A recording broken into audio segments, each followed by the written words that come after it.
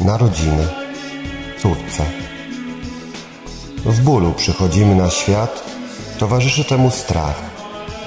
Odchodzimy bojąc się i cierpiąc, ogarnięci tęsknotą za tym, co piękne. Spójrz na mnie, by wzniecić nadziei iskrę. Ufność w Twoich oczach nie pozwala niczego żałować, tylko Ty, ja i cały świat. Jak mam Ciebie prowadzić, kiedy to Ty prowadzisz mnie?